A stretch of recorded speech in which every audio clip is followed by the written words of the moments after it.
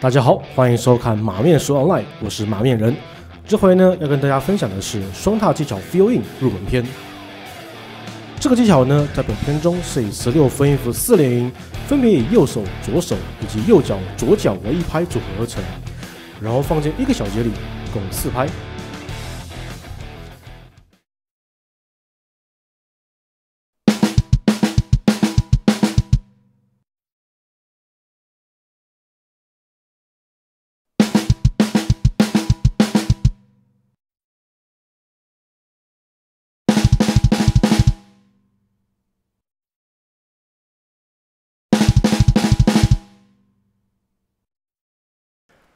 然后呢，再用同样的技巧，分别将每一拍建立在鼓组的四个位置，从小骨开始，然后通腕、通兔最后是落地鼓。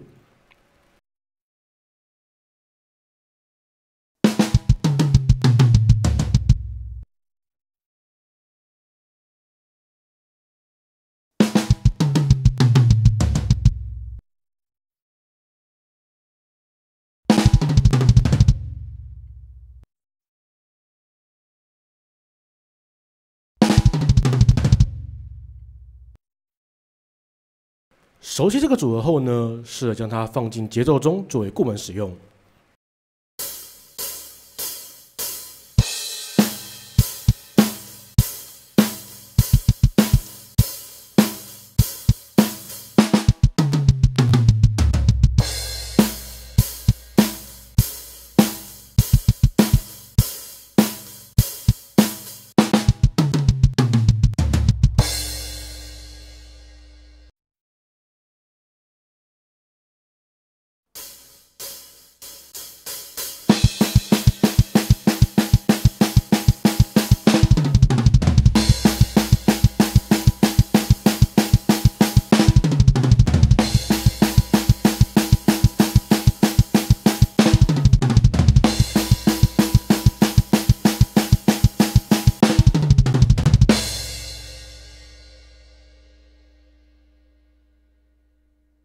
在熟悉这个技巧并稳定好拍子后，可以试着再将双手的位置加以变化组合，便可得到不同感觉的句子。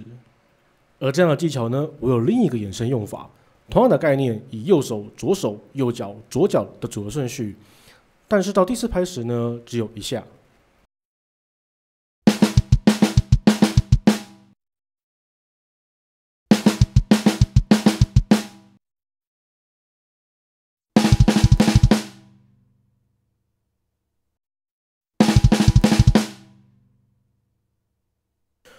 会那么做，是因为四拍全满的话，在接下一小节时会听起来非常的紧凑。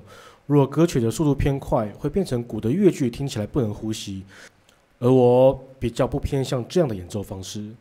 在乐句的编排呢，我习惯第四拍是以铜拔声取代鼓声，让延音却灌满这个小节的尾段，演到下一小节的开始，在听觉上会多点空间，不会那么的紧凑。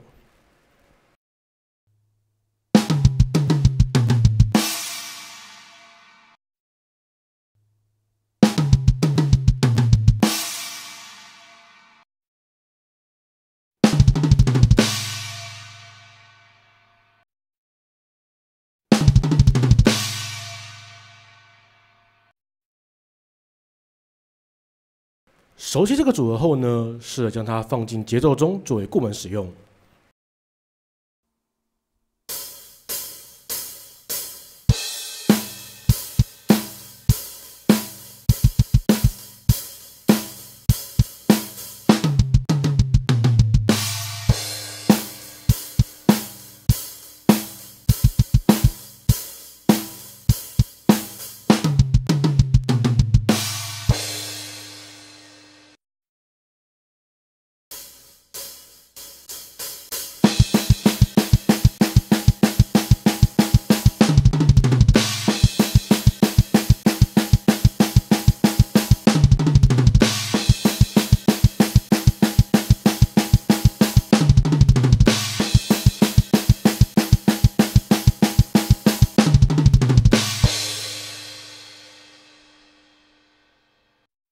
这节的马面书 online 就到这边。如果你想要更多这系列的进修呢，可参考我的第一部线上教学影片《马面书双踏攻略进修篇》。